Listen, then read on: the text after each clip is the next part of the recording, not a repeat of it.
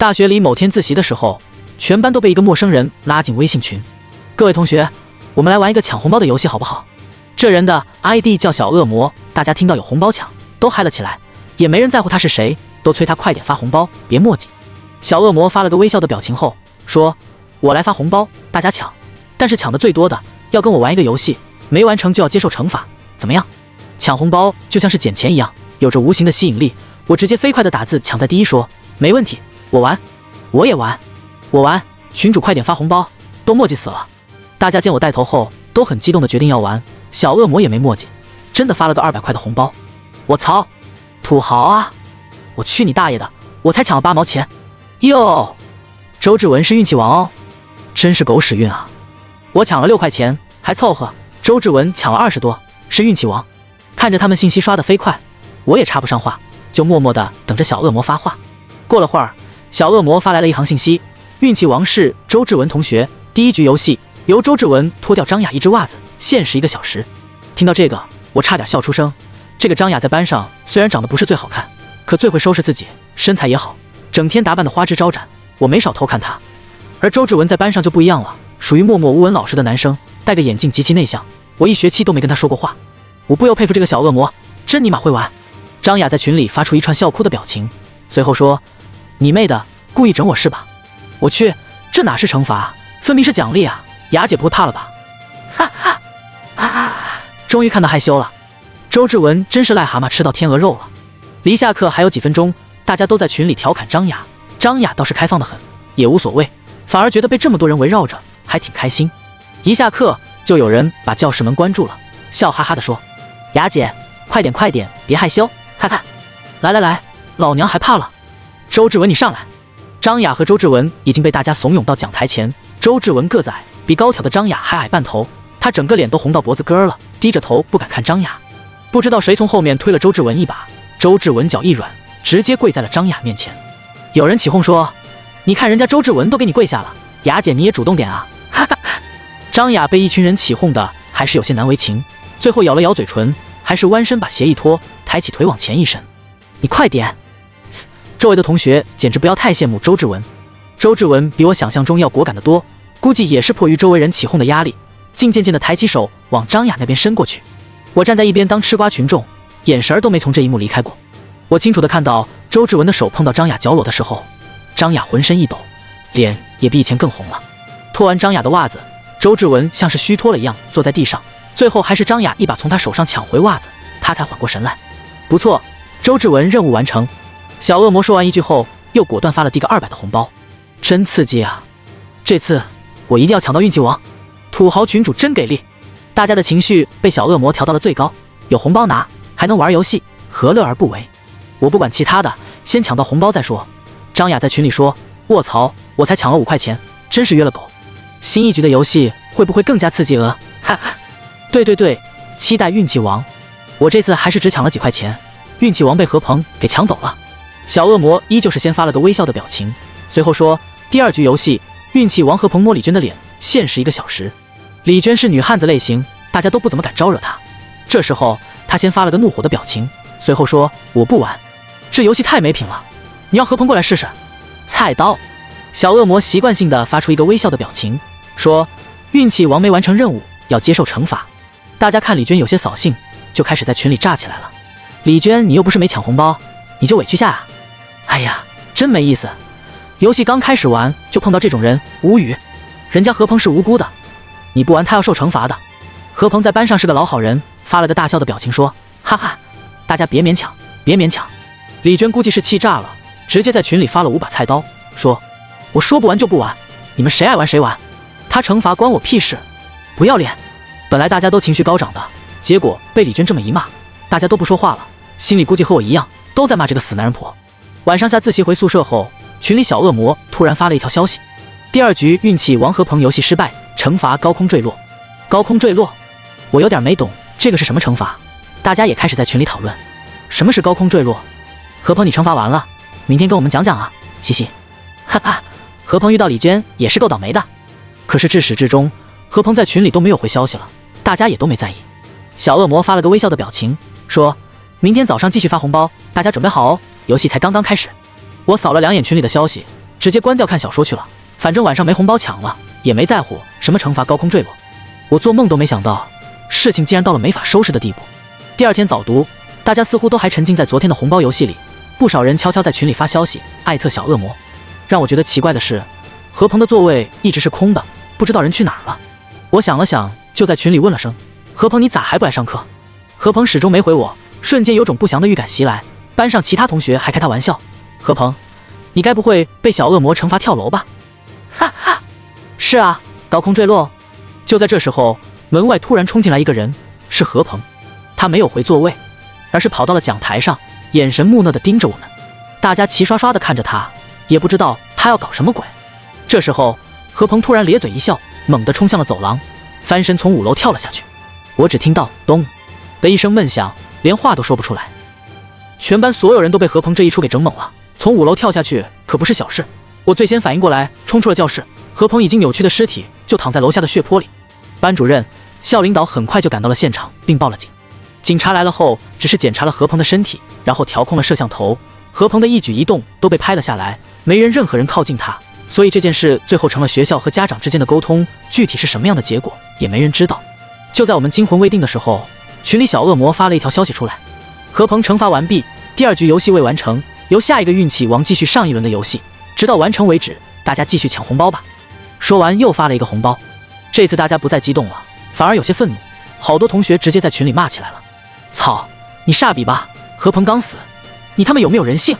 适可而止。”我看到李娟坐在位子上直哆嗦，她也发了条消息：“我不知道你是班里的谁，是不是跟我有过节？别以为有钱了不起，能不能尊重一下死者？”张雅也难得正经了一回，散了吧，别玩了，也挺无聊的。众人你一句我一句的在群里说着，但是都没人退群。反正我没退群的原因是，事情过去后还希望能领点红包。我猜大家跟我想的一样。小恶魔还是发了一个笑脸，说：“游戏开始便不能结束，这是你们之前都答应的，你们收了我的钱。”就有义务完成游戏。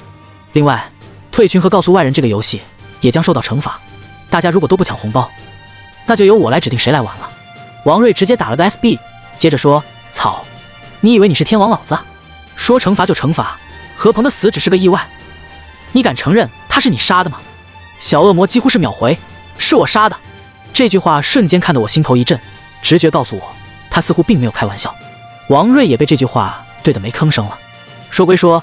但还是有胆小的同学领了红包，有人带头，谁也不想落后。很快红包又抢完了，我长呼一口气，幸好运气王不是我，这次的运气王叫孙兴。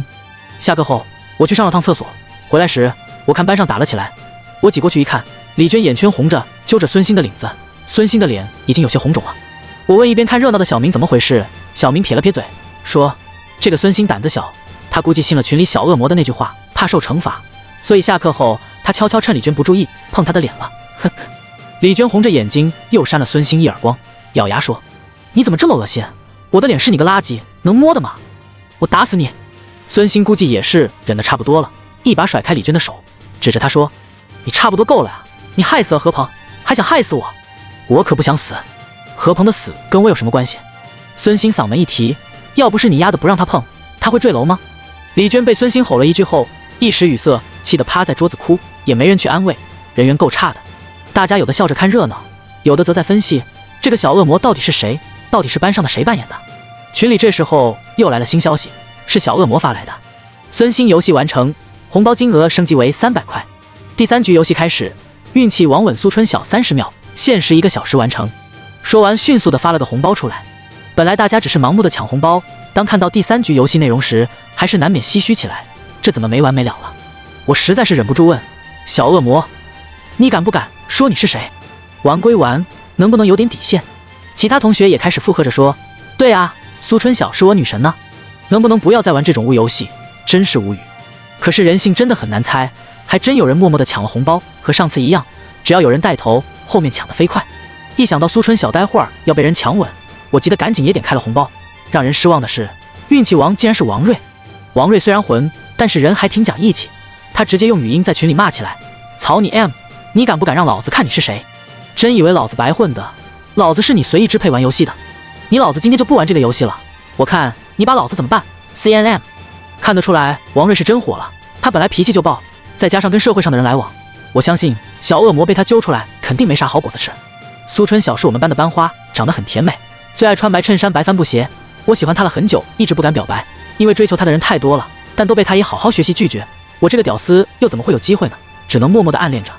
苏春晓发了个尴尬的表情，说：“大家都别玩了，好好上课吧。”至始至终，小恶魔再也没有回过一句话。大家好像也没把这个当回事。倒是我心里一直在想，一个小时也就一节半课，如果王瑞真的不玩游戏，会不会受到惩罚？我在心里默念着，希望何鹏的死真的只是一个巧合。如果一个小时后王瑞没事的话，我就立马退群。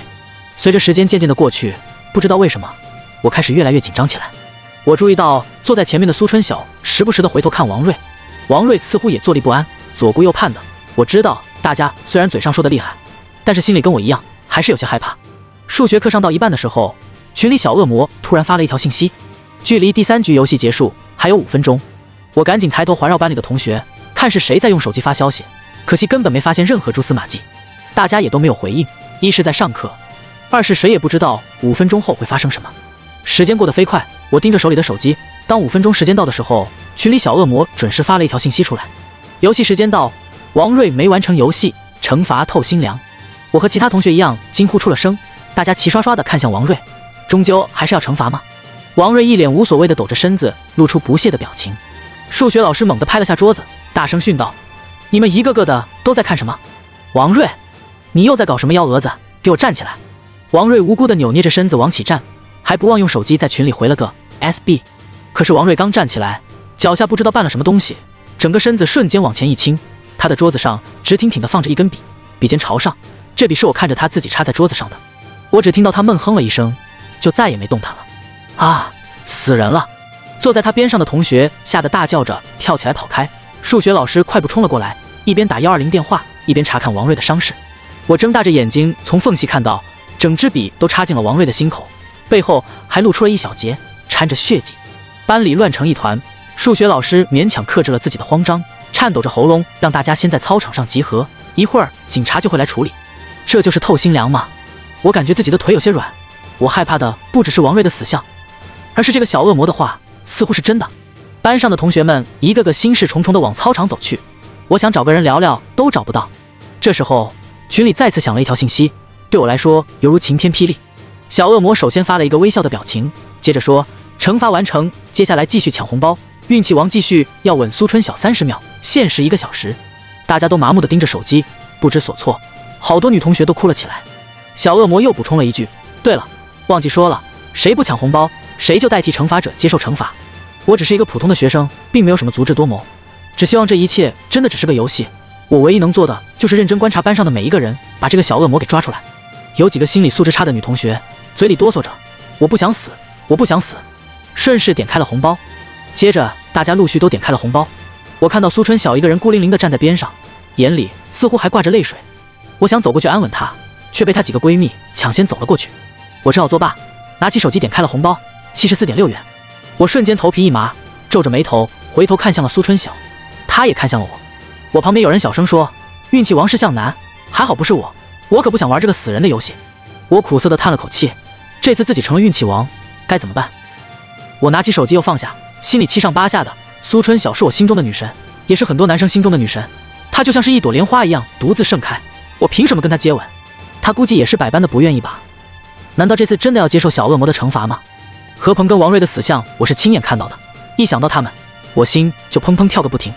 这时候，我看到一辆警车开进了学校，我想到了小恶魔在群里说的话，又看了看周围被吓得有些麻木的同学，我赶紧说道：“各位同学，听我说一句，现在就我们一个班五十几个同学在操场，也没老师在，大家齐刷刷的看向我。”苏春晓的脸唰的一下红到了耳根，我知道他以为我要说吻他的事。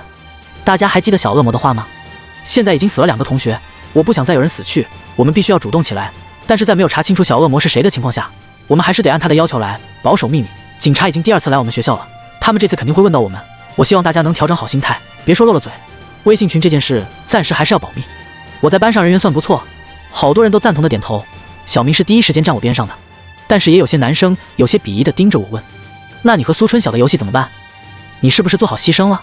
对啊，你别以为大义凛然的说几句屁话，我们就随便你了。苏春晓，你碰都别想碰一下。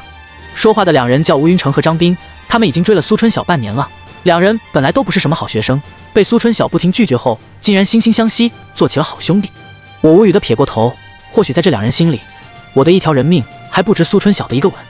小明气不过，仰着脖子冲他们说：“你们知不知道现在什么情况？亲一下怎么了？比人命还重要吗？”我说：“就算你们阻止了向南，你们两个智障依旧追不上苏春晓。你他妈再给老子说一次，信不信我当场撂倒你？”操！眼看他们要打起来。我赶紧一把拉住小明，现在可不是动手打架的时候。也刚好，警察如我猜的一样走了过来，一起来的有三个。我看到为首的一个胖警察始终皱着眉头，他脖子上有条明显的伤疤，很醒目。他扫视了我们一圈，然后坐在了离我们几十米远的阶梯上，接着开始一个个的传呼。其实我提醒他们后，我一点都不担心他们会说漏嘴，因为谁也不会拿自己的生命开玩笑。反倒是我自己，时间一分一秒的过去，眼看就剩半个小时了，终于是轮到了我。我深呼口气后，向胖警察走去。他先是让我描述一下王瑞死亡时的情景。我一边说，他边上的年轻警察一边记。当我说到一半的时候，胖警察一挥手让停了下来。不用记了，说的都他妈一样。胖警察烦躁的点了根烟，小眼睛盯着我，心里发毛。吐了口烟后说道：“小子，你是班上最后一个做笔录的了。我要告诉你一件事情，你们班上发生的事情绝不是巧合那么简单。七年前的案子也是发生在这里。你要是知道点什么，一定要告诉我。记住。”一定要告诉我，最后两句他故意加重了语气，我在心里纠结，要不要相信这个警察？可是小恶魔的话始终在我脑里乱窜，我只好咬牙摇了摇头。胖警察失望的低头咧嘴一笑，拍了拍我的肩膀，招呼手下人离开了。我如释重负般的看着胖警察离开，或许这个人到最后真能帮到我们也不一定。还有他说的七年前的案子到底是什么？突然，我想到自己剩的时间不多了，我看了眼手机，还有差不多十分钟的时间。与此同时。我还看到一条未读信息，是手机短信。向南，我是苏春晓，我在食堂等你，你快过来。竟然是苏春晓发来的，而且是手机短信。我有些激动地握着手机，最后还是强制自己冷静下来，快步向食堂跑去。学校并不大，我跑过去也就一两分钟。现在是上课时间，除了我们班，大家都在教室里。很快，我就看到了站在角落里穿着白衬衫的苏春晓。他见我过来，有些脸红的低下了头。我假装镇定地走了过去，离他越近。我的心跳越快，春，春晓，你找我？苏春晓抬起精致的小脸看着我，咬了咬嘴唇，轻声说道：“向南，你是不是一直喜欢我？”他问的太直白，我一时有点没反应过来，最后还是点了点头。其实想想我挺怂的。苏春晓抬脚朝我这迈了一步，一股清香传了过来。我鼓起勇气抬头看向他，他的脸已经红透，开口说道：“你刚刚在同学面前说的，也是我希望的。我也不想再有同学死去。”他顿了顿，继续说。既然你喜欢我，那我就给你一次机会，让你做我男朋友。前提是期末你必须考到班上前二十名，然后你可以亲我。这个吻算是赌约。如果你做到了我说的，那你到时候还可以把吻还回来。如果没做到，你以后再也没机会了。说完，苏春晓突然伸出两只手勾住了我的脖子，柔软温热的唇瞬间贴在了我的嘴上。我只感觉自己天旋地转。这是我第一次接触女生，我相信也是她的第一次。我感受得到她皮肤的滚烫，她砰砰的心跳。这一刻。我似乎已经忘记了一切，直到我兜里的手机震动起来。我和苏春晓同时身体一颤，互相松开了手。苏春晓抿了抿嘴，小声问我：“那个三十秒到了吗？”我挠了挠头，点头说：“差不多，估计应该到了吧。到了就行。”苏春晓说完点点头，背着手转身就走。苏春晓，我叫住了苏春晓。嗯，深呼口气后，我坚定地看着苏春晓说道：“期末我不会让你失望的。”苏春晓抿着嘴忍住笑，晃了晃身子，嘀咕了句：“谁稀罕？”接着，我和苏春晓一前一后的往教室走去。这时候，大家都回到了教室。我发现大家看我们的眼光都变了，特别是吴云成和张斌，那眼神似乎要杀了我。我知道，从今以后跟他们两人的梁子算是结下了。我心想：难道刚刚在食堂和苏春晓接吻被他们看到了？回到位子坐下后，我顺势掏出了手机，才发现群里小恶魔早早的就发了条信息：向南完成游戏。红包金额提升为四百元，苏春晓瞬间脸都红了。不得不说，我心里其实还有点小窃喜，毕竟跟女神接吻不是谁都能做到的。接着，小恶魔又补充了一条：同学们继续抢红包游戏，运气王要和赵丽丽发生关系，限时两天。小恶魔这条信息一发出来，好多同学都骂出了声，这也太过分了，这不是逼着人受惩罚吗？真是手贱，进了这个群，哎，人家丽丽有男朋友呢，不知道这游戏怎么玩，无语。看着群里的信息，我一直没回复，因为我觉得在群里说什么都没用，只会引起小恶魔的注意。我们到现在连小恶魔是谁都不知道，怀疑的对象都没有。最重要的是找到破解游戏的方法，而不是在群里抱怨。金小峰猛地一拍桌子，怒火冲天地对着我们吼道：“你们谁也别想动老子的女人，最好想都别想！谁抽到运气王，自己乖乖受惩罚，否则别怪我不客气。”金小峰和赵丽丽是情侣关系，平时特别喜欢秀恩爱，班上人都知道。而金小峰这人小肚鸡肠是出了名的，仗着自己是个富二代，家里有钱，常常因为一件小事在班上大闹，也没人拦得住他。我估计赵丽丽跟他在一起也就图个钱。金小峰发话后，大家都开始沉默了。倒是小恶魔发了条信息出来，为了增加游戏趣味性，这次游戏未完成的话，两人都将受罚。金小峰直接暴怒了，在群里说：“草你妈！赵丽丽是我的女人，我命令你取消这次游戏，我给你钱，你有本事开个价。”其实我知道，班上好多人都不喜欢金小峰，都在看他热闹，见他女人要被别人碰，心里别提多舒坦。也有一些喜欢巴结他的，开始在群里附和着说：“是啊，换个游戏呗，这游戏有点严重了吧？”峰哥都说给你钱了，你别得寸进尺啊！差不多算了。小恶魔至始至终都没再回答。今天是星期五，放学后大家都赶着回家。我本来想等苏春晓的，结果他被他爸爸开车接走，我只好自己搭车回。坐在公交车上，我掏出手机，发现群里已经有不少人开始抢红包了。我呵呵一笑，不管别人口头怎么说，班上有这么多人，总有一些胆大不在乎的人带头，红包瞬间抢完。这次的运气王是叶静，叶静发了个无语的表情。接着，金小峰就在群里破口大骂起来。我懒得看他像疯狗一样咬人，关掉手机，闭眼琢磨着这两天发生的事情。还好这次的游戏时间有两天，可以好好的静下心来琢磨这件事。叶静以前是王瑞的小弟，王瑞一死他就没了靠山，而金小峰是不可能让叶静碰赵丽丽的。这次如果找不到破解游戏的方法，他和赵丽丽都得受惩罚。我想到了胖警察跟我说的话：七年前的案子，而七年前到底发生过什么？为什么从来没听人说过？想事情时总是过得很快。我回家后赶紧吃饱饭，倒了杯水，就跟我妈说要复习。于是反锁了房间，打开电脑。我们学校因为历史不是很悠久，所以信息并不多，大多是些校领导的新闻。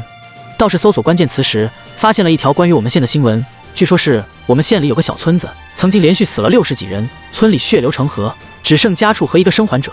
生还者当天就被送进了精神病院，案子被国家定为红色案件，至今没有调查出结果。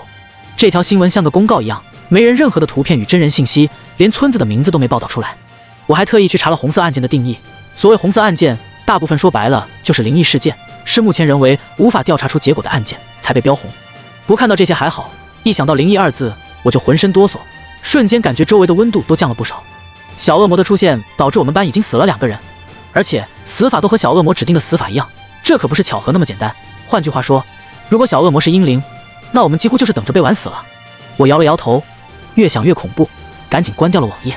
这时候，我的手机来了条信息，是苏春晓的。他发了个敖大喵哭泣的表情，说：“向南，你在干嘛呀？”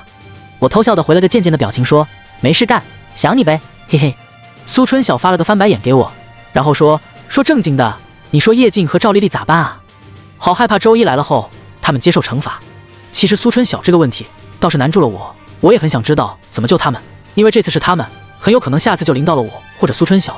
可是现在真的没有任何办法。”我只能勉强的说，没事的，事情总有解决办法。金小峰那么有钱，说不定他会找人帮忙的。嗯，可是还是很害怕，害怕下次临到我，我现在都不敢打开微信群了。放心，我会保护你的。我和苏春晓有一句没一句的聊着，说要保护他，我其实一点没把握，只能是尽力而为。有时候觉得自己真的实在太渺小。高中的假期只有一天，周日要补课，我们一早就又去了学校。刚走到学校门口，我就收到了一条小恶魔的信息：叶静和赵丽丽任务完成。红包升级为五百，我操！他们真的做了？群里的人跟我一样震惊，纷纷在群里乱呼乱叫，似乎完全忘记了之前死人的惩罚。而我注意到，金小峰竟然始终没有插话，这可不是他的风格。我知道这是暴风雨来临前的平静。我关掉手机，快步向教室跑去。跑进教室，发现已经有不少人来了。叶静被几个男生围着问东问西，他一脸尴尬的低着头，随口敷衍着。而赵丽丽独自一人坐在位置上，表情有些忐忑不安。金小峰呢？我刚这么一想，门外突然冲进来一个人，拿着把西瓜刀，把我吓了一跳。我操你妈！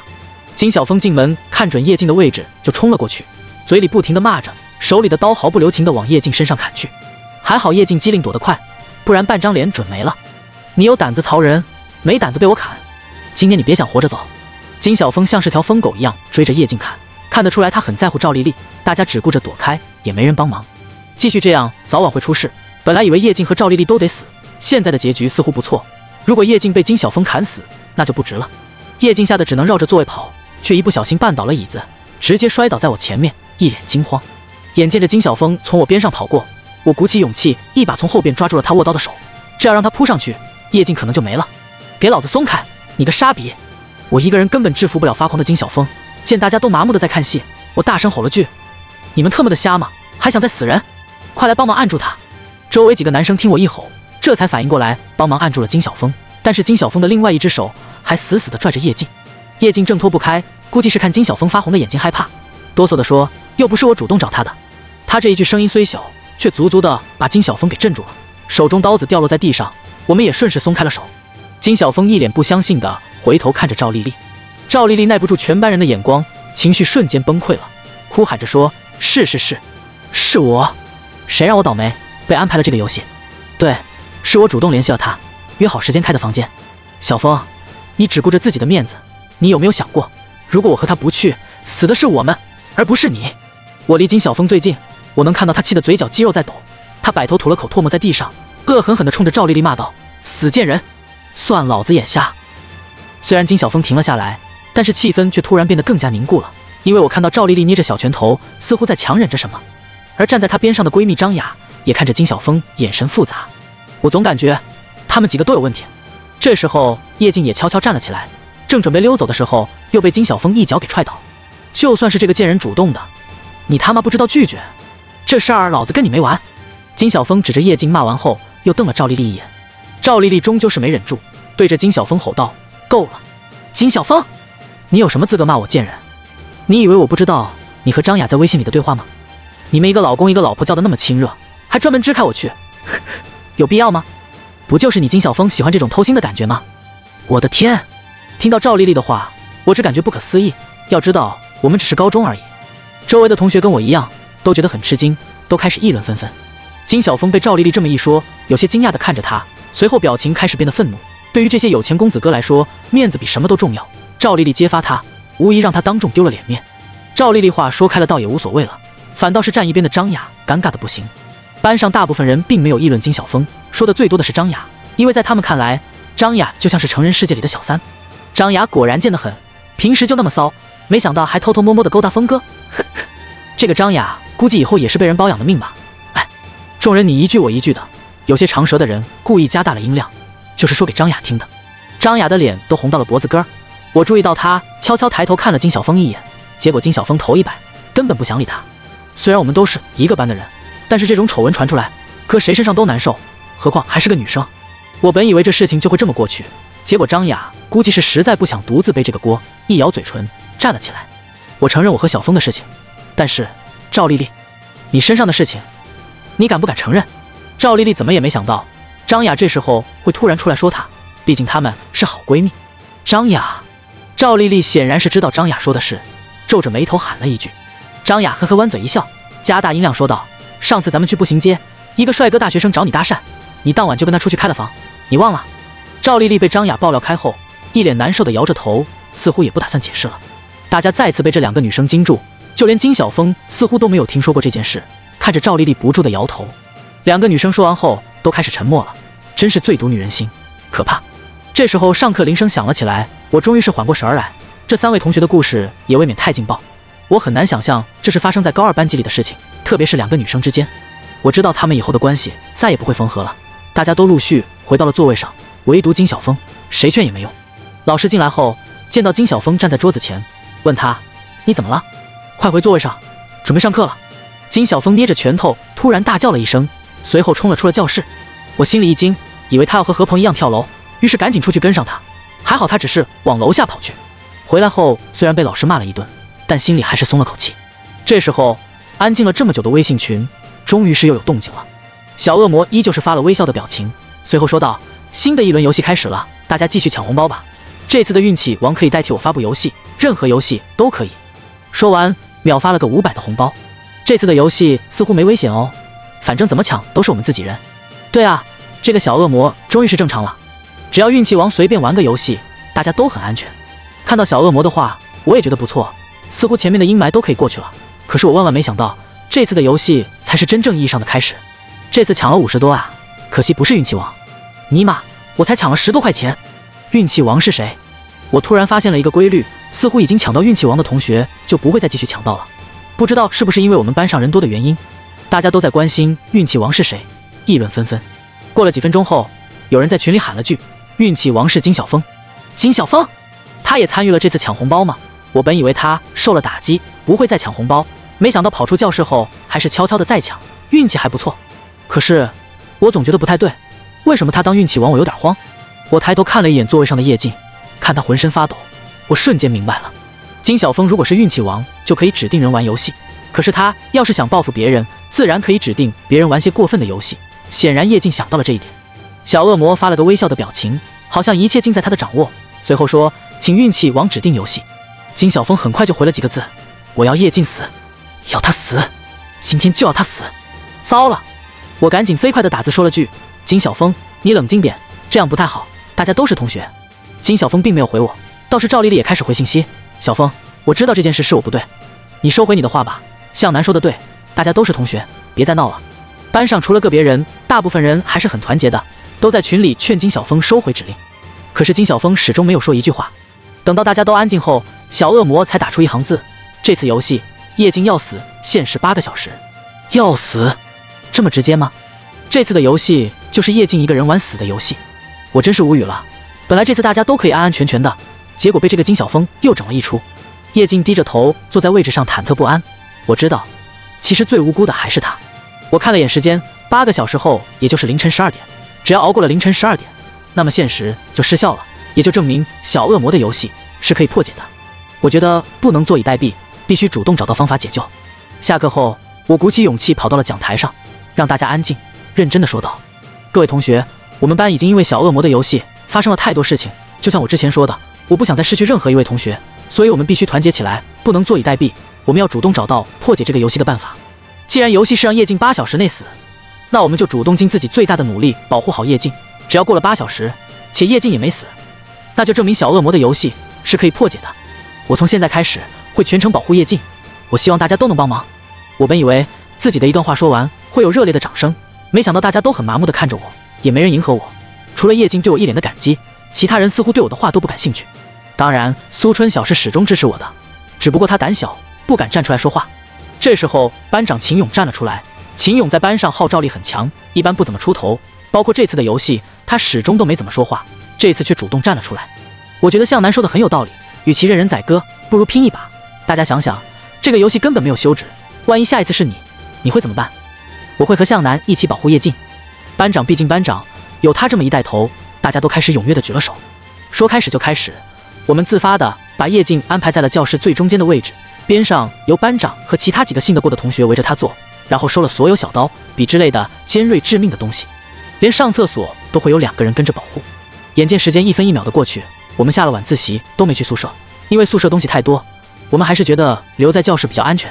只要过了十二点，就证明我们成功了。我让苏春晓先回宿舍休息，有事我会先通知他。这样，教室里志愿留下了十来名学生，叶静依旧是坐在最中央，其他人围着他坐。此时已经夜深，为了不让人发现，我们把灯都关了，周围很暗，只有教室外的光映照进来，斑斑点点。叶静下午没吃饭，我拿了个面包递给他，叶静感激的都快哭了。他笑着看我说道：“谢谢你，向南，不是你，我真不知道该怎么办。没事，别想太。”砰！我话还没说完，教室顶上的吊扇不知不觉的突然掉落下来，刚好砸在叶静的头上。他嘴里还咬着面包，瞪大眼睛趴在桌上，头顶上已经血肉模糊，温热的血溅了我一脸。我们鸦雀无声的待在了教室，昏暗的教室里，已经死去的叶静，周围同学脸上和我一样，全都有他的血迹，像极了我们合伙杀了他。我几乎都快喘不过气了。脸上温热粘稠的血水不停往我脖子里滑，我赶紧擦了一把脸，咬牙勉强伸出手去探了探叶静的鼻子，果然已经死透。快报警吧！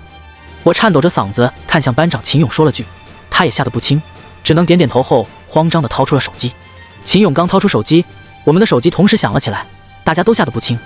我翻开手机一看，是微信群，小恶魔发了个微笑的表情，这在我看来就像是魔鬼的一张脸。叶静完成任务，没有惩罚。明天早上继续发红包，同学们游戏愉快。空气中还充斥着叶静血的气味，即使这是死的第三个同学，我依旧很难接受。小恶魔能随意掌控我们的生死，而生存的条件就是他指定的每一次游戏。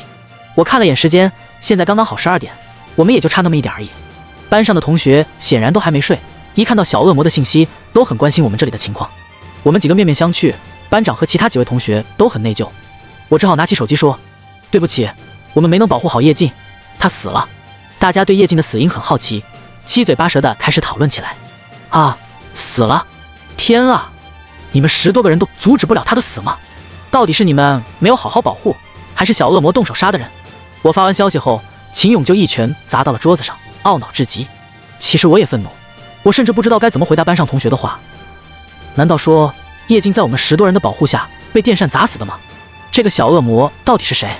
警察和老师很快都到了，为了保护好现场，我们都没有走。幸亏学校里都有监控，我们全程还是被拍了下来，不然我们身上的血真的很难解释。叶静的死再次被定为意外死亡，而我们也只是被老师教育批评了而已。我们配合着警察录完笔录后，已经快天亮了。秦勇喊我一起出去吃包子。路上，秦勇突然小声说：“向南，我觉得班上你算是理智的。你觉得咱们班这几次事是巧合吗？”他这句话倒真是问到我了。我倒希望是巧合，可天底下哪有这样巧合的事？已经死了三条人命了，我只能摇摇头说不知道。秦勇叹了口气，走了几步后，突然又说道：“不知道你信不信？我觉得咱们班这次是招阴灵了。阴灵，阴灵无非就是电影里鬼的意思。我不是没想过，可真正的放在现实生活里，我却还是有点不信。”秦勇点头，皱眉说道：“对，阴灵。我爷爷是个老先生，他跟我说过，人死后有怨气会化为阴灵，无影无形，可以寄托别人体害人。要除掉他，得找到他的根儿。也就是说，他为何生怨？”我似懂非懂的点了点头。听了秦勇的话，我突然想到了周六在家里电脑上查的资料，那个死了很多人的村子就在我们县。如果我们班真的被什么阴灵惦记上，那小恶魔会不会就是那个村的人？我对秦勇说道：“那你可以请你爷爷来帮我们吗？”秦勇似乎有些为难，叹了口气说：“我爷爷身体不好，这两年病情也越发重了，我有些担心他的身体。但是如果班上还继续死人的话，那我无论如何都要请他老人家来一趟了。”嗯，就这么一瞬间，我对秦勇的印象大大加分，难怪他的人缘好，老师也喜欢他。都这种时候还能不顾自己的感受，为班级他人着想。我和秦勇一人吃了笼包子，他坚持要请客，我推脱不过，就这样，我和秦勇成了好哥们，也挺有意思。教室有警察在处理叶静死的地方，所以早上我们班都被安排在寝室里自习。刚好我也一夜没睡，随便洗漱了下就准备休息了。对于寝室里的人问东问西，我都敷衍的答了过去，因为我实在不想提昨晚那个场面。我刚躺下，微信群里小恶魔就发了信息：新的抢红包游戏开始了，这一次运气王要接受惩罚。说完发了一个五百块的红包。运气王要受到惩罚，那谁愿意抢啊？现在都开始这么直接吗？昨天直接让叶静死。今天直接让运气王死，你干脆让我们大家一起死好了，不抢了，运气王还要接受惩罚，有啥好抢的？操！大家都别抢了，有本事你让我们一起死。对，就是，都别手贱，别抢了。我眼前一亮，对啊，这次大家自发的不抢红包似乎很有作用。如果大家都不抢红包，我不信小恶魔能同时让我们一起死。太对了，这次大家出奇的团结一致，果然没有一个人动红包。我真想知道小恶魔此时是怎么想的。会不会恼羞成怒？反正我等了会儿，小恶魔一直没说话，希望他是妥协了吧。看着看着我就睡着了，毕竟昨天晚上太累，这一觉睡到了中午，还是被微信群里的信息给震动醒的。我迷迷糊糊的拿起手机，是小恶魔回了信息。既然大家都不想抢红包，那也好，以后大家就不用抢了，我直接发吧。我总觉得小恶魔话里有话，果然，他接着又说道：“那么新游戏是金小峰和赵丽丽，你们投票选一个出来。”票数多的那人，我单独发五百元红包；票数少的要接受惩罚。如果你们不投票，那两人同时接受惩罚，限时二十四小时。游戏开始，小恶魔又换了新花样，我也算是搞明白了，他的目的就是每次游戏都要死人，而且死的人都是有过矛盾的。他的每次游戏指令都是在撕裂我们之间的感情，先破坏我们同学之间的感情，让我们反目为仇，接着再杀死一个，真是卑鄙！我不由自主的在群里发了个信息，也算是由心而发吧。没想到小恶魔竟然回复我，很好，向南很活跃，那就由你来当裁判，到时候你要负责统计票数额。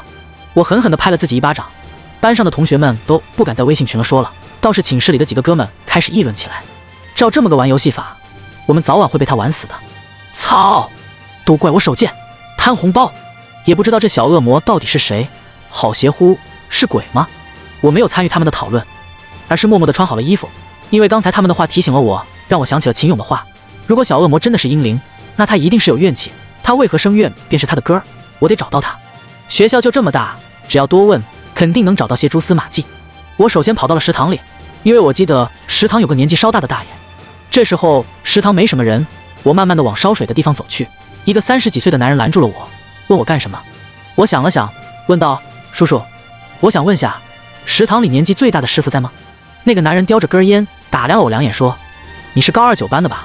听说你们班最近死了三个人。”我连忙点头，心想总算遇到明白人了。男人吐了口烟，笑着说道：“你们这帮小子都想逞英雄当狄仁杰，你是第四个过来问我的了。我跟你说啊，这死人的事不是小事，要是你们能查清楚，要警察干什么呢？你说对不？另外，我依旧跟你说一遍啊，食堂里唯一一位干了超过七年的老大爷，上个星期在家去世了，所以这里现在都是新员工，明白吗？”听了他的话，我有些失望的点了点头。不过也有一点信息，首先我应该高兴，因为现在不是我一个人在调查这件事，我前面还有三个人。从食堂后门出来的时候，我心里一直在琢磨，是班上的哪三个人开始提前调查了，我得跟他们抱团才行。就我一个人的力量肯定是不够的。刚走出去没多久，我就看到了食堂门口的苏春晓，她手里抱着饭盒。我笑着走了过去，说：“春晓，你站着干嘛？该不是等我吧？”苏春晓脸皮薄，被我一开玩笑脸就红了。白了我一眼，说：“谁等你了？我就是吃完饭站着透透气。”我看他手里饭盒里装满了饭菜，也不管他是不是给我准备的，就厚着脸皮一把抢了过来。嗯，我刚好没吃饭，我就不客气了呀，嘿嘿。春晓撇了撇嘴，倒也没拒绝。我猜他可能真的是在等我，只是脸皮薄，不好意思说出来而已。现在同学们都已经吃过饭了，所以食堂里的位置都是空空的。我找了个窗边的位置坐了下来，开始狼吞虎咽起来。说实在的，这几天虽然没干什么事。但是总感觉自己体力不够用，所以吃的多。最关键，这是苏春晓帮我准备的饭。春晓用手托着脸，坐我对面，若有所思地说道：“向南，你说微信群里的那个小恶魔是谁啊？我们又没惹他，他为什么不放过我们？还有这次投票指定金晓峰和赵丽丽，他们本来就是情侣关系，让人家怎么投嘛？哎，春晓的问题也正是我心里的问题。我叹了口气说道：现在最大的问题是我们根本没办法对抗小恶魔的惩罚，他想让谁死，谁肯定死。”我们唯一能做的就是先保护好自己。说到这里，我停下了手里的筷子，看着春晓说道：“春晓，我最不希望你有事。”春晓笑着抿了抿嘴，我并不是趁机说情话，这真的是我心里所想。就在这时候，食堂外面突然快速跑过一个人，我抬头看去，竟然是金晓峰。金晓峰这时候回学校干什么？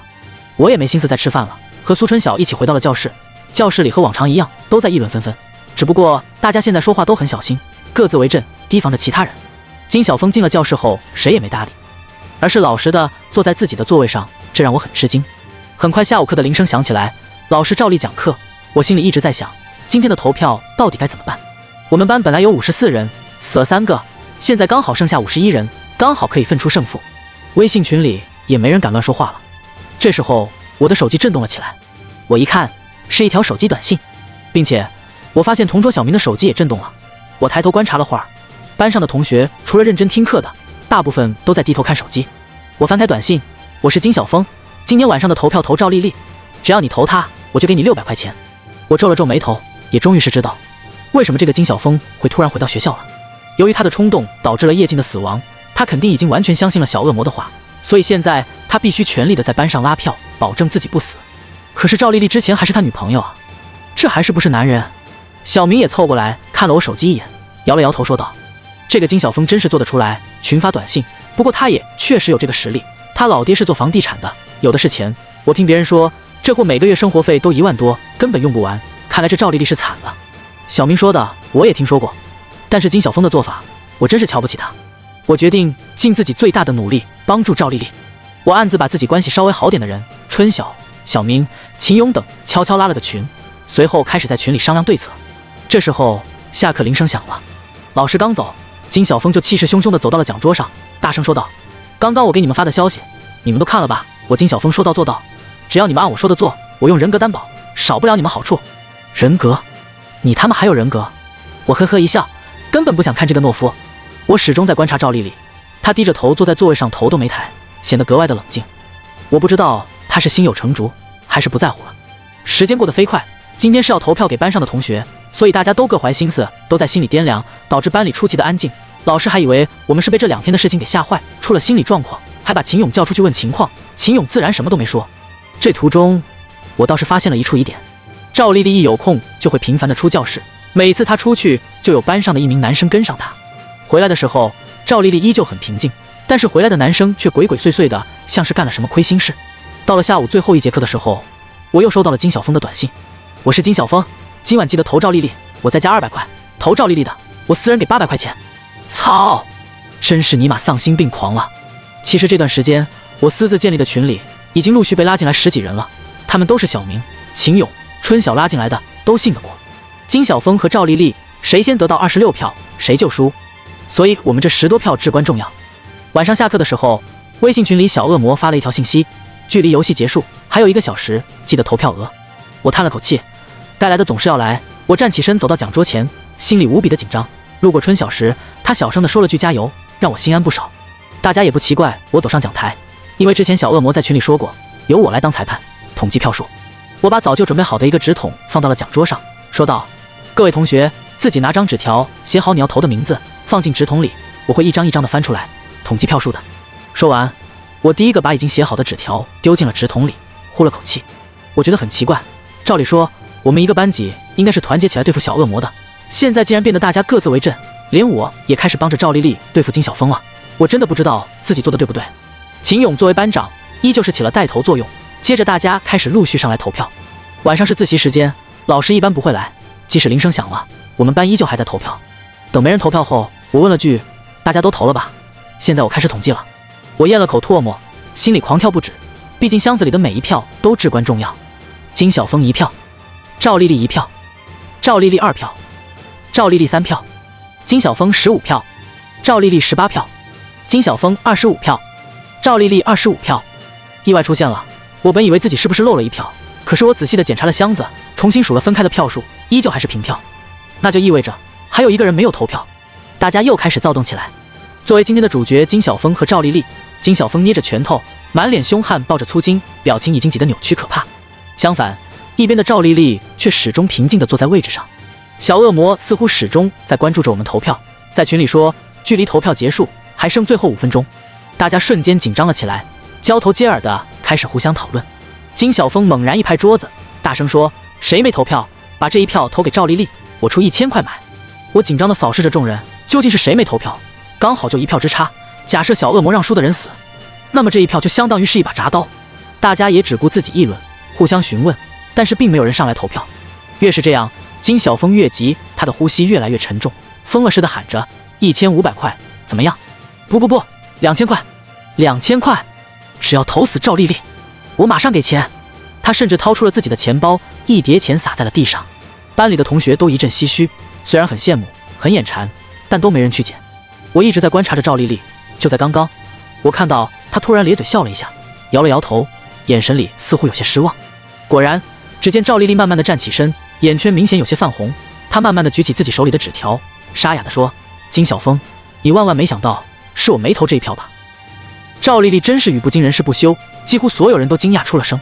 我不由得在想，她的心机是有多深啊，能把自己手中的票捏到现在。难道是算准了会平票吗？金晓峰瞬间变得一脸懵，我看到他额头上都出汗了，嘴角星号星号着，想开口骂人，但是又闭上了嘴。毕竟现在输赢基本已定了。同学们一致的安静了下来，都看着金晓峰不讲话，因为他的暴脾气是出名了的，谁也不想现在得罪他。可是金晓峰依旧不甘心，竟出人意料的挤出了笑脸，对着赵丽丽轻声细语的说道：“丽丽，以前是我不好，我对不起你，咱们能和好吗？不要投票给我，我还是爱你的。你想要什么，我都买给你，好吗？”说真的，我见过恶心的人，没见过这么恶心的人。班上不少同学都看不下去了，我身边的小明更是气得骂道：“赵丽丽，别信他，快把票投出去，别跟这个人扎叽歪了。”对啊，真是人渣！我不知道是什么让金晓峰变成现在这样，同学们的话竟然全都对他没影响。他依旧厚颜无耻地舔着笑说：“丽丽，我知道你是爱我的，别生气了，乖。我最爱的还是你。张雅那贱货根本没有你一个指甲好，我说的都是真的。”金晓峰，我操你妈！张雅听到这句，直接气炸，指着金晓峰就骂。他本来已经被班上同学鄙视了，现在又被金晓峰这么说，心里一肚子火，再也憋不住了。赵丽丽，投这个渣男啊！你还犹豫什么？是啊，我也不知道赵丽丽这时候在犹豫什么，直接投金晓峰好了。金晓峰如今在班上就像过街老鼠，谁都不待见了。有钱又怎样？何况我感觉金晓峰似乎精神都出了问题。赵丽丽的平静让我有些害怕，这个以前活泼开朗的女生，今天变得异常冷静，即使大家说什么。她都面带微笑。金晓峰急疯了，猛地冲到赵丽丽面前，抓住她双肩喊道：“丽丽，丽丽，你看看我，你再给我一次机会行吗？”我见金晓峰这样，害怕他对赵丽丽做出什么事，于是何小明赶紧拉开了他。拉开金晓峰时，我明显感觉到他胳膊抖得很厉害。这时候，赵丽丽终于是抬起了头，盯着金晓峰，嘶哑着喉咙说：“你说你爱我，那如果我输了，我死了怎么办？”金晓峰赶紧一本正经的笑着回答：“丽丽，你说的我都知道，可是我不能输啊！我家里就我一个儿子，我死了，我老爸的遗产都没人继承了。你不一样啊，你住在农村，万一你出了什么事，以后你家里的事就是我金晓峰的事，我保证他们一辈子不愁吃穿。”我操！我实在是忍不下去，冲上去照着金晓峰的脸就狠狠地砸了一拳，他的鼻子瞬间流血。我拧着他的领子说道：“金晓峰，你他妈还有人性吗？”金晓峰被我打倒后居然不还手，他直接无视了我。跪在了赵丽丽面前，满脸鲜血，带着笑看着赵丽丽，像条狗。我无奈的松开了手。我知道金晓峰是真的疯了。秦勇把我拉开，摇头示意我不要再管了。我退后了几步，赵丽丽同时也站了起来。她没有管金晓峰，而是独自的走到了教室的窗前。同学们自觉的为她让了一条路。我从侧面已经看到她哭了。我看了眼秦勇，秦勇耸了耸肩，表示也不知道他要干什么。突然，赵丽丽翻到了窗子上，直接跳了下去。啊！别呀！我以最快的速度冲到了窗子前，可是等待我的却是一声坠楼的碎骨脆响。与此同时，一张纸从窗户飘落在教室，我捡起来一看，上面写着三个字：赵丽丽。金晓峰疯狗一样的冲到我面前，一把抢走了纸条，接着表情狰狞的狂笑道：“看到没？看到没？你们一群垃圾！赵丽丽这蠢货，最终还是没投我！哈哈哈哈！你们他妈的跟我斗！我捏紧拳头，随时都想过去揍他。这时候。”微信群里，小恶魔发来了一条消息：投票完成，赵丽丽票数最高。赵丽丽的惩罚是站在讲台上为大家唱首《小幸运》，我的最爱哦。什么？只是这个惩罚吗？小恶魔，你是不是存心的？赵丽丽因为这个游戏已经死了，你是不是有病啊？小恶魔难得回复了句：赵丽丽的死是她自愿的，跟我有什么关系？原来这就是所谓的惩罚，惩罚并不是死亡，而是唱首歌而已。都是我们自以为是猜错了。我懊恼地抱着自己的头蹲下，我还说解救大家，却还是被小恶魔玩弄于股掌，无能为力。苏春晓走过来，拍了拍我的肩膀，小声安慰我：“别难过，这又不是你的错，你已经尽力了。”此时的金晓峰嘚瑟地站在自己位置上，脸上被我打出的血也不擦。让我更意外的是，到现在竟然还有几个同学围绕在他身边。我实在是不想看到金晓峰，干脆逃课跑了出去，在操场上坐着抽烟。空荡荡的操场会让我冷静下来，左思右想后。我觉得小恶魔的事情还得抓紧调查。不一会儿，小明走了过来，他说：“刚刚你走后，金晓峰这个人扎在班上发钱呢，还说以后只要跟着他，钱少不了。不少人没忍住，星号星号。”小明也点了根烟，继续说：“金晓峰还公开跟你树敌了，估计以后他会算计你了，你得小心了。”我摇了摇头，我就知道以后的敌人会越来越多。其实不只是我，我们本来团结的班级，因为小恶魔的出现，早就四分裂了。不少以前的好哥们、好姐妹，都因为红包游戏反目为仇。对了。还有一件事，不知道你听没听说？小明跟我是同桌，也是我为数不多的好兄弟。我真的很感激他会跟我分享这么多信息。我示意他快点说。你知道赵丽丽是怎么拉的票吗？不知道，只知道她今天一出去，后面就会跟着一个男生。对，就是这个。赵丽丽今天私信了所有对她有意思的男生，让他们投票给金晓峰。报酬是让他们亲一下。我的天，我只感觉头皮发麻。这个已经死去的赵丽丽心真的是狠，可惜最终还是做了死亡的选择。不知道她知道惩罚内容后会觉得值不值？我问小明是怎么知道的，小明咬了咬腮帮，似乎很生气。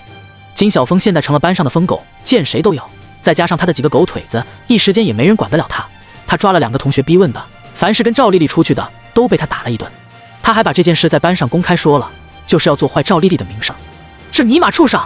我在心里暗想，这个金晓峰实在是太招人恨了，必须得找机会治治他。我和小明又聊了会儿，就回了宿舍。回到宿舍后，我看到室友李阳脸上满是伤，显然是被金晓峰打了。因为我记得他也是跟赵丽丽出去过的。李阳见我看他，眼神有些躲闪，我也没跟他说话，就拿着盆去洗涮了。这时候，李阳跟过来，小声说：“向南，你是不是在调查小恶魔的事？”我看了他一眼，心里有些慌，不知道他为什么问这个。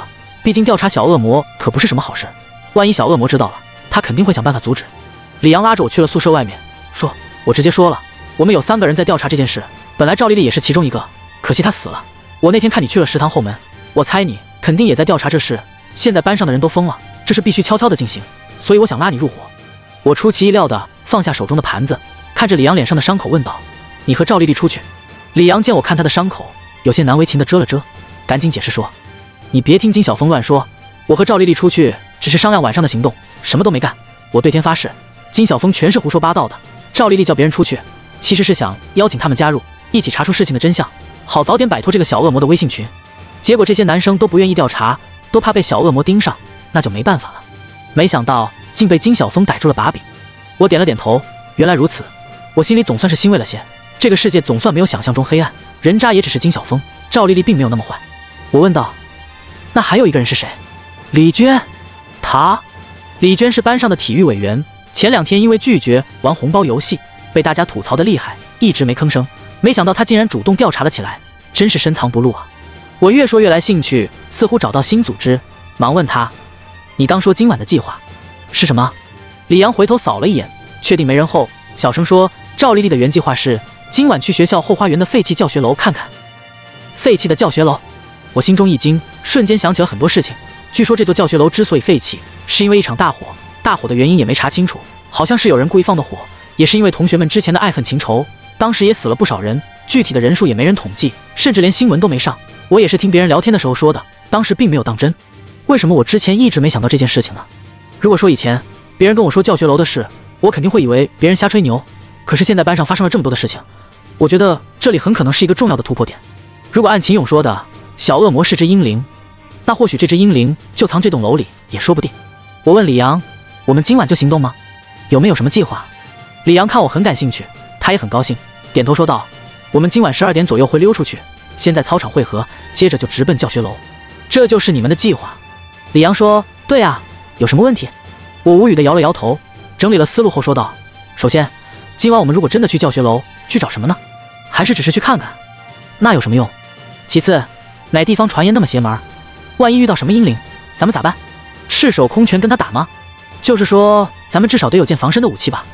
李阳被我问得一愣一愣的，特别我说到阴灵的时候，他直接打了个寒战。我拍了拍他的肩膀，说：“先别急，一会儿我拉你和李娟进我的群，我也有几个信得过的，人多力量大，待会儿在群里商量。”说完，我赶紧快速的洗刷，然后躺在了床上，躲进被窝。我先把李阳和李娟拉进了微信群，然后简单的说了下赵丽丽和他们的事。秦勇永远是带头的，他第一个回复说：“好，我同意。微信群的事早就应该解决了，但是今晚肯定不行，明晚吧。明天我回一趟家，武器的事情我来解决。”看到秦勇这么给力，我开心的在群里发了个大拇指。接着苏春晓说：“向南，我也想去，可是有点害怕。”我说：“春晓你就别去了，万一遇到危险怎么办？”这时候小明突然冒了出来，先是发了个邪恶的表情。接着说，遇到危险不是有你像大公子吗？怕啥？最后苏春晓发了个害羞的表情。哎呀，我知道有危险，可是真的很好奇，很想去。我无奈的叹了口气，回道：行吧，但是明天你要跟紧我。嗯嗯。大家你一句我一句的在群里讨论着明晚的计划。其实有了秦勇准备武器，我觉得就没有什么大问题了，主要看勇气了。当天晚上我们六人聊到了凌晨三点才睡。让我觉得奇怪的是，小恶魔自从说让赵丽丽唱小幸运后。一直没有再发消息了，我不知道这是好事还是坏事，但在我心里一直有种不祥的预感。白天上课的时候我很没精神，几乎节节课都在睡觉。当然，一到下课的时候，我都会克制自己别睡着，时刻提防着金小峰这个人渣，什么事都干得出来。我担心他会对付我。有好几次，我醒来的时候，刚好看到吴云成和张斌走到我身后，他们手都放兜里，嘴上挂着笑，见我醒来又匆匆离开。这两人是上次和苏小接吻的时候就结下了仇，现在他们跟着金小峰，巴不得要整我。小明在边上撞了撞我说道：“看来这个金小峰是非要整你了，要不要我们主动干他？”小明真名其实很霸气，叫李世民。别看他性子慵懒，但是打架可是一把好手。班上敢惹他的王瑞已经死了。不过说真的，小明的话说到我心坎里了。我上次打金小峰一拳根本没过瘾，但是这段时间不是打架的时候。我指了指门外的警察说道：“这段时间就不要搞事了。”我们班这几天连续死了这么多人，那些警察几乎都驻扎在我们教室门外了，正愁没有出头鸟抓回去交差呢。小明抬头看了门外一眼，确实是停了一辆警察。我也没心思再睡觉了，现在脑子里事情比较多，一边在教室里要提防金小峰，另外今晚还有去废弃的教学楼调查，谁也不知道金小峰会怎么整我，谁也不知道废弃的教学楼里会遇到什么。就在我愣神的时候，手机突然震了好几下，是小恶魔。大家休息了一天。应该都养足了精力吧？那么我们继续玩游戏吧。考虑到现在大家都不喜欢抢红包了，以后的游戏我都会以直接发的形式。游戏里谁赢了，谁将会得到我私人红包六百块。好了，新的游戏开始。游戏内容只限班上的男生，所有男生都要参加。准备好一百张纸条，每张纸条上按顺序从一写到一百，然后男生按照顺序从一号开始抽。每个男生每次可以选择抽一到三张纸条，这样一直轮流抽完为止。谁抽到最后一张，也就是说抽到一百号的人就要接受惩罚。游戏在明天午休时进行，依旧由向南主持吧。我无奈地叹了口气。昨天还在想，为什么小恶魔突然没消息了？今天就整了这么大的游戏，还是全体男生参加，还好我们女生不用参加，万幸啊！你别乌鸦嘴，这次是男生，下次说不定就是我们女生了。尼玛，你们女生还有没良心了？我们男生没帮你们做过事吗？你管我说什么？我祝你明天抽中一百号！草泥马！班上的同学变得异常暴躁，再也没有以前那么团结了，都变得自私自利，常常会因为一些小事而争吵。这次的游戏也确实比以前更残酷。其实，在我看来，好在是所有男生参加，没了女生，至少有一半人不用遭殃，算是自我安慰吧。小明在边上自言自语地说道：“希望这次的惩罚能像上次一样简单吧。”但愿。也许是被小恶魔整了太多次，经历多了，我们反而突然变得平静了。游戏还好不是今晚开始，而是明天中午，这样我们可以赶在晚上去废弃的教学楼调查，希望今晚能有个结果。下午最后一节课下后，秦勇就跟老师请了假回家，说是要给我们准备武器了。老师说。我还蛮期待他会给我们准备什么样的武器。时间过得很快，眼见就要十一点了，我和李阳都穿好衣服在宿舍等着。宿舍里其他几个哥们，我都已经提前打好招呼，跟他们撒谎说我们溜出去上网。十一点四十五分的时候，群里秦勇终于发消息了：“我到了，大家来操场吧。”就这样，我和李阳在半夜十二点的时候悄悄溜出了宿舍。深夜的校园静得可怕，楼顶老式的探照灯洒在地上呈暗黄一片，搭上地上不停晃动的折影，说不出的诡异。凉风吹得我不停缩脖子，为了不让人发现，我和李阳快步跑向操场。此时，操场中央已经站了四个人。毫无疑问，秦勇他们几个已经先到了。从远处看去，空旷的操场上就站着他们四个人影，看起来有种说不出的诡异。李阳估计跟我一样的感受，小声问我：“是不是他们啊？”我深呼了口气，被他问的有点慌，毕竟现在是凌晨。我故作镇定地说：“别自己吓唬自己，这大晚上的，不是他们是谁？”说完。我紧了紧领口，率先向他们跑去。随着越跑越近，他们几个黑影的样子也是越来越清楚。我算是松了口气。我老远就听到苏春晓说他们来了，接着秦勇冲我们招手。苏春晓今晚把头发给扎了起来，穿了一套运动服，看起来很英气。我冲他们点了点头，随后问道：“班长，准备的怎么样了？”苏春晓弯嘴一笑，突然从背后抽出了一根木棒，假装打我。我知道他是开玩笑的，顺势把棒子接了过来。看来秦勇给我们准备的就是这个棒子了。大概半米的长度，看起来很顺手的样子。关键我看到棒子的一头缠贴着黄色符纸。秦勇从他背包里扔给了我和李阳各自一根，认真说道：“这个废弃的教学楼，大家应该都听说过传闻，不管是真是假，我们有备无患。这根棒子可以对付普通人，也可以对付阴灵。”李阳惊讶地捏紧棒子，问道：“真的有阴灵啊？”秦勇摇了摇头，举着棒子说：“没人说真的有，只是最近咱们班发生的事情，不得不让人联想到阴灵。就如向南推断的。”小恶魔万一真的是躲在教学楼里的阴灵，我们不带武器也拿他没办法。众人纷纷点头。我好奇地问道：“秦勇，这些你都是在哪儿弄的？”秦勇也没有要隐瞒，很豪爽地说：“偷我爷爷的木棒，本来是令旗杆，都是桃木之削的。符咒是爷爷香坛上压的。爷爷这两天生病在床，我悄悄偷来，估计他也不会发现。万一发现，大不了挨顿骂呗。”我拍了拍秦勇的肩膀，说：“谢谢你了，班长。”秦勇只是摇了摇头。随后我们准备出发。由于这次有两个女生，我们之前就商量好了，分为两队，左边分开成坠子行走。秦勇、李阳、李娟一队，我、小明、苏春晓一队。这样做的原因是，我们一共有六个人，如果后面和前面遇到危险，不会扎堆的手忙脚乱。分成两队，相当于是把六个人组成了两个人，这样前后左右遇到危险后可以第一时间反应过来。这个方法是我之前看的一本军事小说里写的，特种部队出击大多会这样分组。废弃的教学楼在学校的后花园，一共只有四层。我们走到这里的时候，才发现整个花园因为学校探照灯覆盖不到的原因，漆黑一片。基本上前面五米远的地方是伸手不见五指的。这时候，秦勇从包里掏出来两把小型手电筒，递给我说道：“我只准备了两把手电筒，我们一队用一把，大家都跟紧，别走丢就行。”秦勇自觉地充当起了带头作用。我和他同时举起了手电，往远处的教学楼照去。肯定有人会疑问。为什么我们不带手机？这个是秦勇的建议。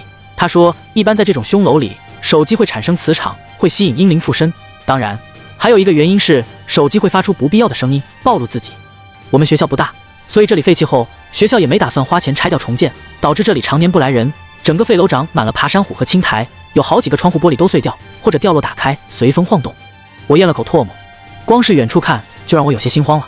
秦勇看着我点了下头，随后我们同时往废楼走去。巨大的门口像是一只怪兽的嘴巴，要用黑暗把我们吞噬。刚走进大门，一阵巨冷的寒风就迎面吹了出来，附带着霉臭的灰气。我们赶紧捂住了鼻子。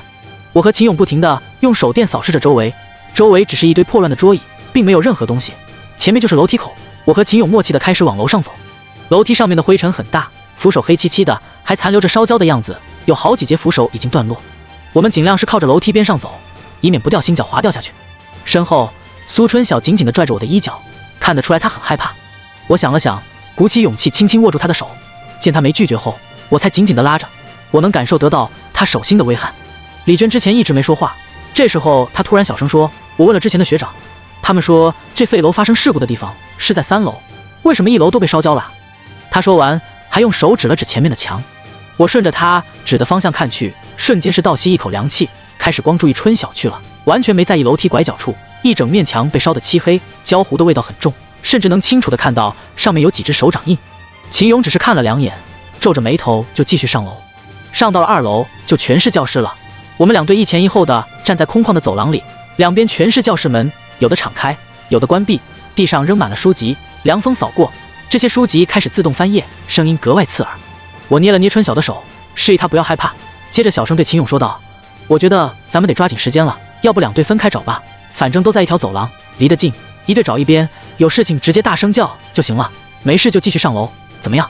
秦勇摸了摸下巴，想了片刻，最后点头说：“这样也行，但是大家一定要注意安全，手里的棒子千万不要丢。”我们纷纷点头，随后我们两队从中间分开，各自寻找了。李阳一直贴着我的右边，要不是我拉着春晓，我感觉他恨不得抱在我身上。我一边用手电扫视每一间教室，一边撞了撞他，说：“你丫的，到底在抖些什么？”李阳被我撞开，又贴了上来，把棒子举到头前，小声说：“尼玛，这地方太阴森了，我总感觉咱们会遇到点什么。”操！乌鸦嘴！我刚说完，苏春晓突然猛地拉了我手一下，用的力气特别大，我的手电都差点掉落在地。我也不敢大意，赶紧回头看了他一眼，只见苏春晓恐惧的瞪大眼睛，看向前方，另一只手捂着嘴，似乎生怕自己发出声音。我赶紧用手电往他看的地方照去，他看的地方是一间开着门的教室，门口有个塑料袋，不停的被风吹起。在这里，我可不敢断言春晓是看错了，我也不敢继续向前了，因为刚刚回头的时候，我发现了一个问题。我们只顾往前走，背后一片黑暗，什么都看不见。刚我回头看春晓的时候，能见度估计连一米都没有，没有手电，我们估计一步都走不了。最关键的是，我居然看不到另一头秦勇他们三个的手电筒光，只有一片黑暗。我知道。这时候一定不能慌，要冷静。尽管我的心已经跳出了嗓子，我拉着春晓靠在墙上，然后让李阳也靠墙，说：“李阳，你盯着我们后面方向，我们先停下来一会儿。”李阳很听话的靠在了墙边，盯着我们身后方向。我用手电照了照前面，又照了照身后，毕竟手电很小，照的不是很远，但至少可以确定我们周围是安全的。这时候，我才慢慢的把苏春晓的手放下来，对他做了个虚的动作。苏春晓就这一会儿，眼泪都快滴了下来，只是他强忍着。我把手电照着前面，问春晓：“别害怕，有我在呢。你刚看到什么了？”春晓的身子有点抖，我不停地拍他肩膀。这时候，春晓终于是挤出来几个字：“我刚，我刚看到了赵丽丽，她穿着白衣。”什么？赵丽丽？我只感觉头皮一阵发麻。为什么这里会出现赵丽丽？就算是赵丽丽自杀死后变成了阴灵，不是应该找金晓峰报仇吗？怎么会在这里出现？前面还剩四五间教室就到尽头了，除了那间有塑料袋的教室门，其他的都死死的关着。手电筒照在前面，让教室窗户都开始反光，总会让我产生一种有人站在窗后监视我们的错觉。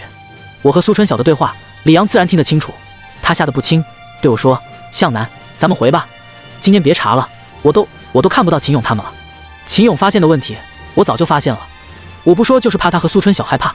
其实我也害怕，我的整个后背都已经汗湿了，我只能故作镇定地说：“先别急，我们再等两分钟，说不定秦勇他们进了教室检查，如果过会儿。”他们那边还是没亮光，我们就回头去找他们。李阳吸了吸鼻涕，点头说同意。安慰好李阳，我把手电放在地上，固定着照在前方。腾出一只手后，我把自己脖子上的玉给取了下来。这块紫玉是我奶奶走前留给我的。奶奶说，爷爷年轻时做生意就过人，那人是个盗墓贼，为了报答爷爷，送了他这块玉，是说是能辟邪消灾。我在心里祈祷，希望爷爷奶奶在天有灵能保佑我们。我拍了拍春晓的肩膀，然后把紫玉挂在了他的脖子上。春晓感激地看了我一眼，死死捏住我的手不肯放。不知道是紫玉的原因，还是我的安慰，春晓似乎好了很多。可就在这时候，旁边的李阳突然大叫了一声，这声音响彻了整个废楼。只听他挥舞着棒子，大声喊道：“是谁？是谁？是谁他妈拽我头发？”我赶紧拉起春晓，捡起地上的手电，同时捏紧棒子，走到了李阳身边。